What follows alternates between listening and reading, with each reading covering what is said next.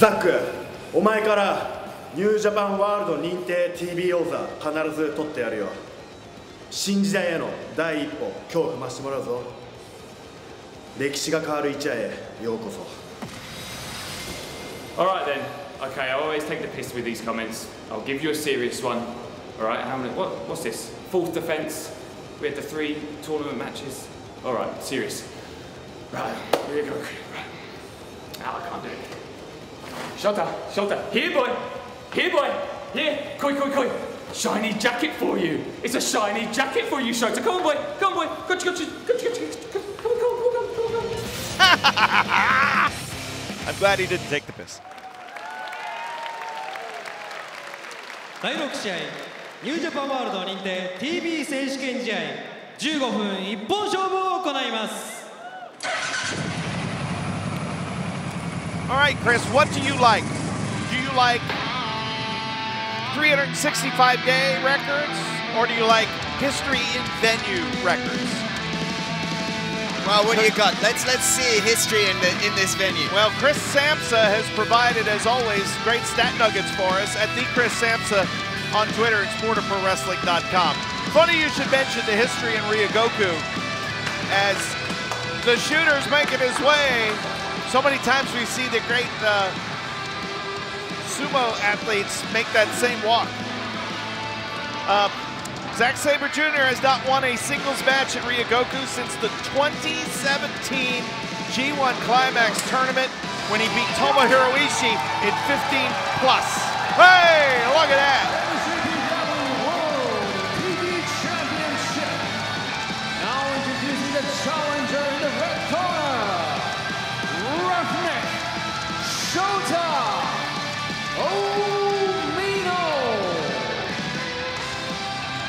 And he came out hard camera side as well. But Shota Umino, before that World TV Championship graphic came on the air, that mysterious video we've been seeing across all the venues now with all this new text. Destruction, monster, prepare yourself, rampaging, invasion. Suddenly Shota Umino presents the exact opposite of those ideals. It took a lot of him to convince Zack Sabre Jr. And he certainly convinced Zack Sabre Jr., convinced the world that he could beat him, but he took 26 minutes and 12 seconds to do it. The question is tonight whether he can do that in half the time. Don't block. Get out of my way. Get out of my way. You ugly young lion. I wanted to see Shooter.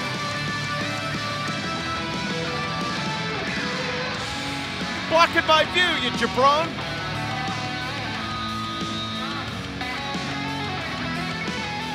Could have been me. It could have been me getting that bracelet. Nakashima was in my way. My kid's 10 years old. I never grew up. No, we love ourselves some Shota Umino, who's been just, again, had that presence since he was a young lion. And I think the World TV title might be perfect for him because he's not shy about carrying the entire world on his shoulders.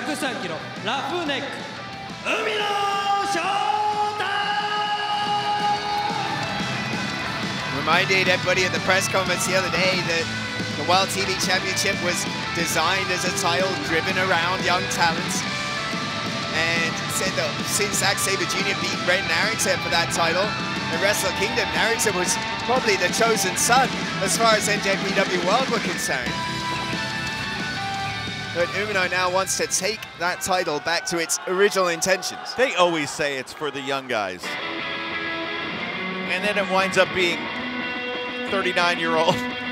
Hey, Zack Sabre Jr.'s not 39. Well, I'm going back to the never title deal. Well, the point is, Kevin, they can say as much as you like. It's for the young guys. It's for the foreign guys. It's for this. It's for that. Any championship in professional wrestling is about being the best. Yes. And Zack Sabre Jr. is the absolute best inside of 15 minutes because that's what this NJPW World TV Championship is all about at the end of the day. Never mind the bollocks. Here's pro wrestling, and here comes Zack Sabre Jr.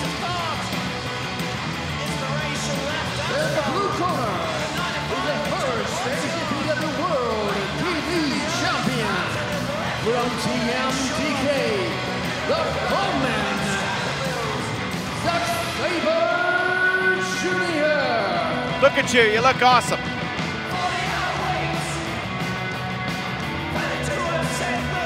Kosei Fujita holding the ropes open, the official young lion of TMDK. New Japan 初代ニュージャパンワールド認定 TV Champion, the Frontman Zack チャンピオンザ・フロントマンザック・セイバー・ジュニア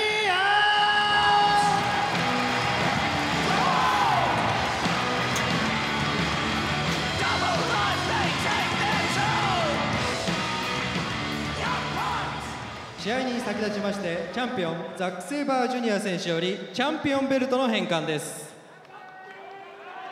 And there'll be 15 minutes on the clock. The reminder is ever. Referee Marty Asami.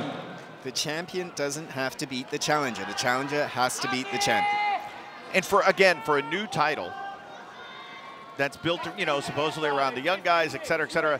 That's the way the television championships were always done. Fast time limits, because again, you've got to fit within the construct of television. So a 15 minute time limit is perfect. You've got to beat the champ within 15, or it's a time limit draw. Shota Umino with a wrap still on his thumb, suffered in the semifinal defeat to David Finlay. Bell sounds and we're off to the races Oh, and a sunset go. flip and it's in three seconds. No. Wait a second. Hold on.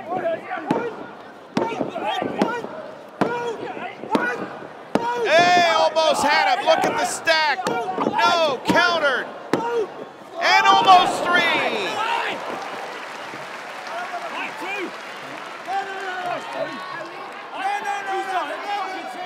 Shota's making a claim for the title. But Zack Sabre Jr.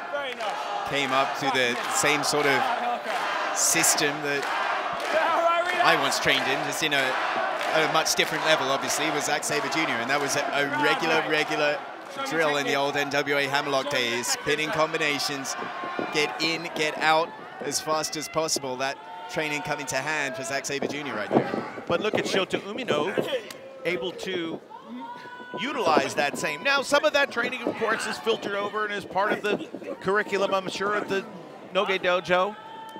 But Shota's time in the UK also benefiting him as well. We'll be mindful of the time. We'll be paying attention to our timekeeper who is off to our right for the time calls. I think the difference is that Shota Umino has learned that style, whereas Zack Sabre Jr. has it almost intuitively. You know, he's said so many times, I don't even know what I'm going to do. Exactly It's- right. It's second nature to him. It's the difference between you know, learning Japanese or learning English as a second language and being very fluent, being very proficient, but you're not a native speaker Correct. that Zack Sabre Jr. is. That's why I think even though it took twice as almost twice as long as our time limit here today, Shota's victory over Zack Sabre Jr. in the New Japan Cup cannot be overlooked.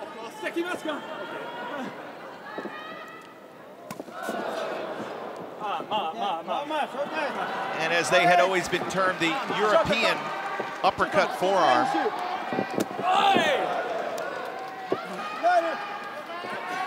continental distinguishments aside, That's why Sabre was very upset about Brexit this whole time. That's pay import duty on everyone. yes, that tax.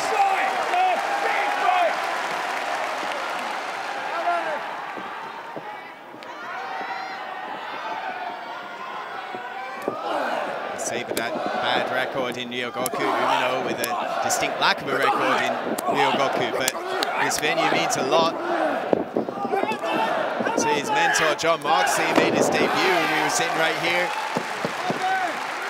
2019 Yeah, blew the doors off of uh, Juice Robinson, then came back in the G1 and did the exact same thing to Taichi. And listen, Shota Umino and the young, all the young lions, they don't get to wrestle in Ryogoku very much. There's not enough room on the card for young lion matches. All killer, no filler. That's why they and the drop kick to the knee. That's why opportunities like this are precious. Another drop kick to the knee. Well done.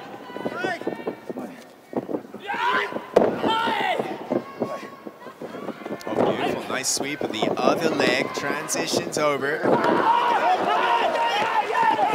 Nice knee bar.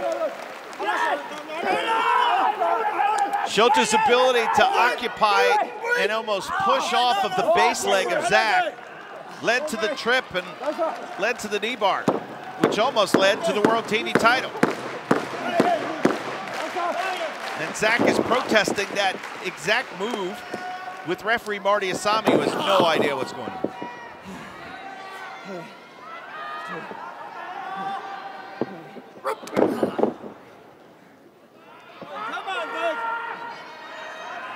I think that match in the New Japan Cup for Shota Umino against Zack Sabre Jr. was the absolute perfect opponent for him at this standpoint, at this point in his career.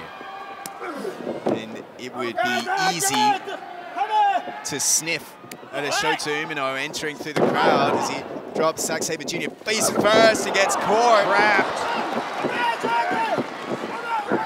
It would be easy for people to sniff at Shota Umino as, oh yeah, Jon Moxley's boy. Right. Using the Death Rider for a finish. Or, oh yeah, he's a Tanahashi lookalike. Here, being in this environment, a real struggle for survival inside of 15 minutes against Zack Sabre Jr. He has to think on his feet. He has to be his own man. Shota Umino's left thumb was turned a sprain, but it was damn near broken. And it was a situation where Shoto was propelled into the second rope, put out his thumb, put out his hand to stop his momentum. And it was there that his thumb was injured. That happened against David Finlay. Notice to that end, to your point, Kevin Zack Sabre Jr. not targeting that injured left No. side, going with the right hand side. Is any uh, catch-trained wrestler will always target the left hand side of the body. It's a, it's an unwritten, it's a gentleman's agreement that you leave your right hand free so that you can go to work on Monday morning. Right. And here, Sabre showing that honor among thieves, so to speak, and going with the right here. Uh, it's also the forearming arm that Shota Umino has more than been able to measure himself up with Zack.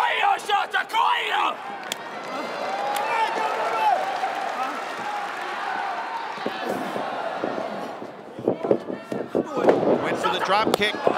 Zack out of the way.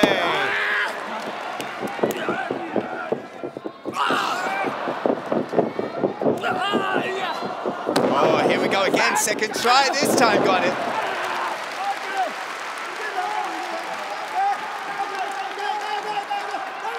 I think we're about halfway through our 15-minute time limit.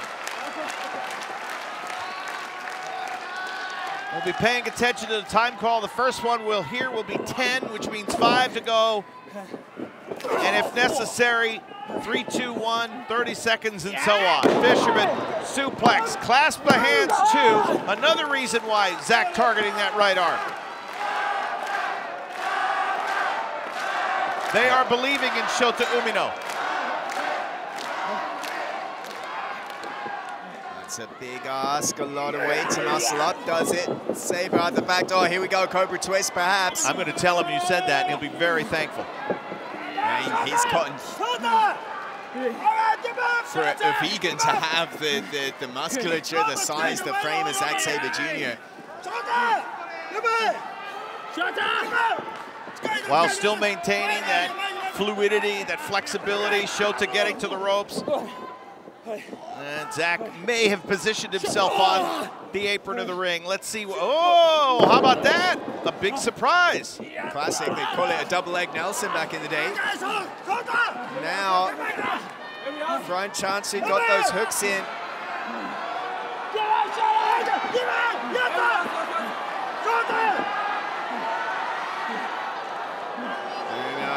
Bruno he's gonna try and pitch Sabre here, see if he can do it. No. Zack Sabre Jr. has been in control of this entire exchange since he positioned himself on the apron of the ring. He's five, ten moves ahead.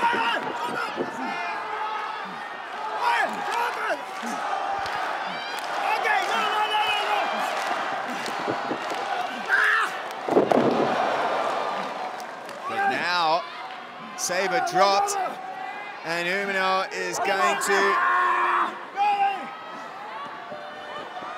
hoist him up again, try and roll into a second. No, that almost that reverse Bloody Sunday instead. Two, and Zack Sabre Jr., who was in control, has lost control because of the power and determination of Shota Umino. We're getting real close to five minutes left in the time. Here he comes. Oh, that arm will go straight. Did for Boltin Oleg in his debut. Oh, watch out, shoulders down. And now the arm goes straight. He's got to tap or lose that arm, Kevin. Umino's got about five seconds or less to improve his position here. That arm is going to go. That arm is going to go. Now on the bridge to Oh, just barely. Will, Will and oh, now no. he's in. He's in Barney right now.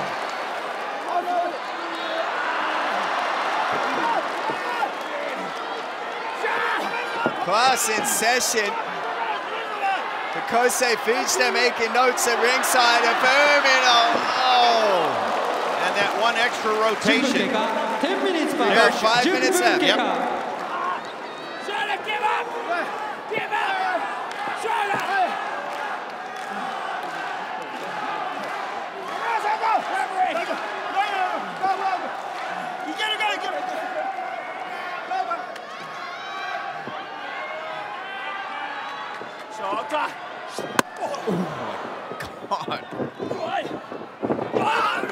Oh, look out, look out. Plucked him out of midair, the roll up. Hang on to Magistral. Back to the young lion roots here.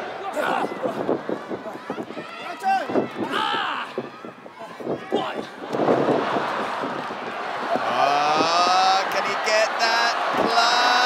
No, he couldn't. Didn't have the weight. Umino. Beautiful from Umino. Zack Sabre Jr. didn't have all of the leverage he needed. Umino was able to rotate Sabre onto his back, almost stole one. Time of fact here, we've got about three left.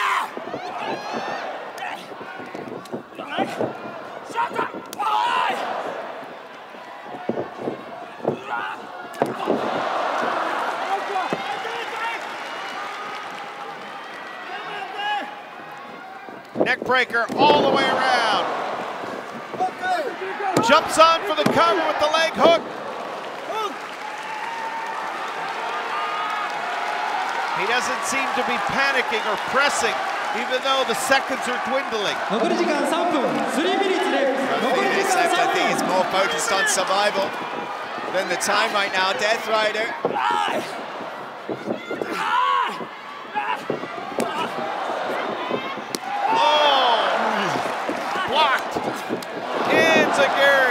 Wobbles the legs of the television champion who comes forward and falls. Oh my God!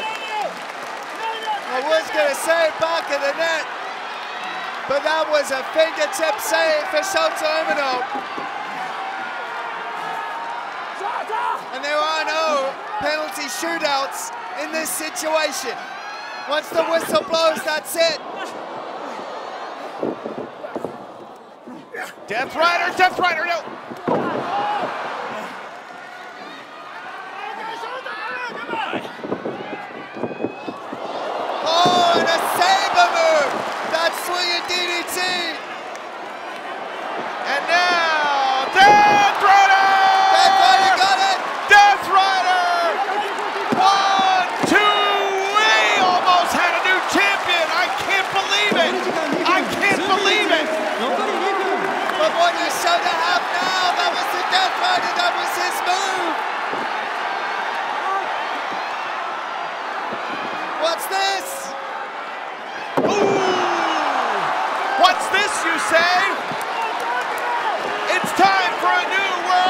Evolution champion to be crowned after a second. No! Yes! Oh! How did he do it? How can you hate on a guy that's as good as Zack Sabre Jr. is? My God!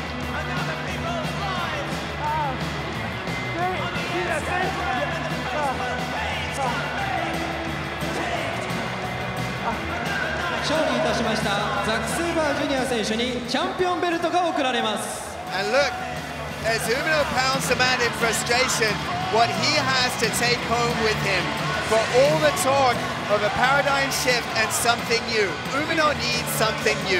We just learned the Death Rider not enough to get it done on Zack Sabre Jr. He had nothing else left. That Handman DDT, okay, then I'll go for another one. That's where the counter happened. And that's, for me, that's got to be the biggest take, take home. And I think, again, a lot of times with young guys, with young teams, they get to the precipice of glory, they fall short, and, and the conversation that, well, we need to change some things. I don't think it requires wholesale. I think it needs just a little bit of garnish. He got away from the STF. He was working on the leg, working on the leg, was never able to get back to the STF. Never able to get there.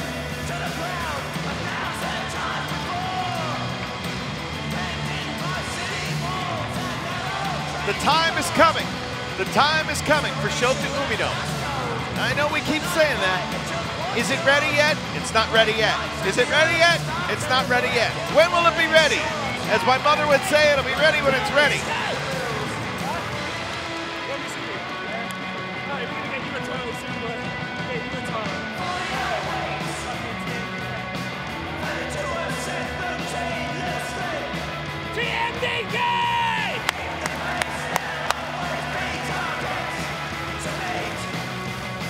Bloody Techers, Techers all the way. Oh, Kevin, the boy's pretty good, isn't he? He sure is. The boy is pretty good. That was, that was a couple of close calls. Well, Listen, smart strategy, go after that right arm. Yeah. Affecting the forearms. I thought it was brilliant. I mean, you would almost think I was the best technical wrestler in the world, Kevin. Some might say. Uh, it's the first, first real big cheering show back uh, at TMDK.